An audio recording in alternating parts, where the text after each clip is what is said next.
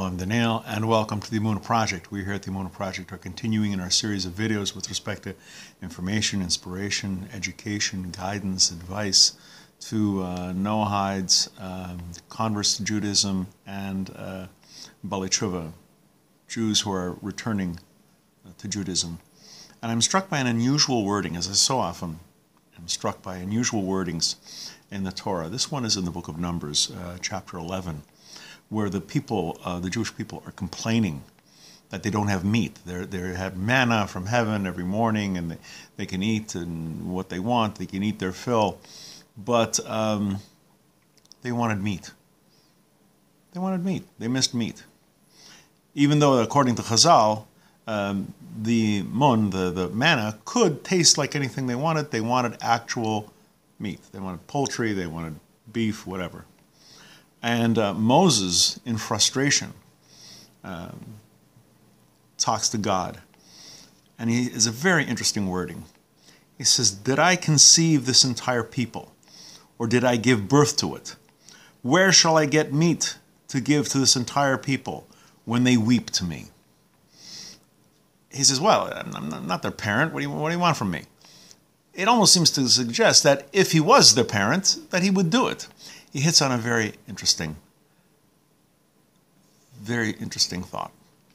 Um, parents, a good loving parent, is very resourceful when it comes to providing um, for the children.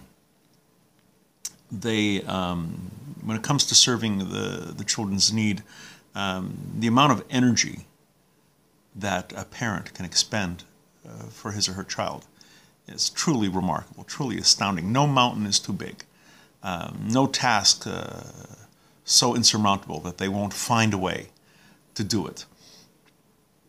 Hashem, God, the Creator, has imbued uh, most, almost all parents, um, with this love and dedication uh, for the child that they will do anything, almost anything that they can do to provide for the child, to help for the child, to give the, the child a good life, an even better life than the parent, uh, him or herself, had. Nothing's impossible for a good and loving parent when it comes to the child.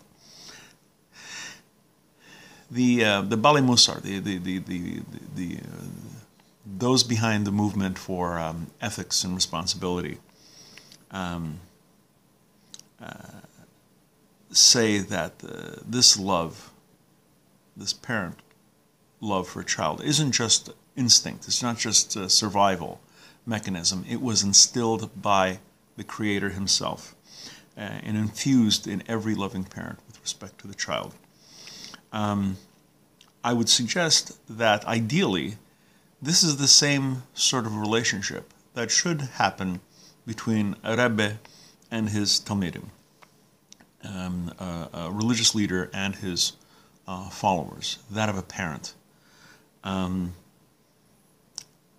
a true religious leader should feel that nothing is uh, insurmountable when it comes to providing uh, for his flock, for his, uh, for his congregants, when it comes to teaching, when it comes to inspiring he should go to, to every extent um, for this.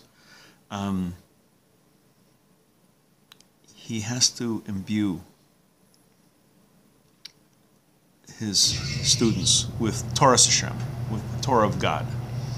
Um, what may turn a lesser person away is uh, a source of love and inspiration for the Rebbe, for the teacher, for the leader. We're going to be doing more videos along these lines. Please come back, please watch, please learn.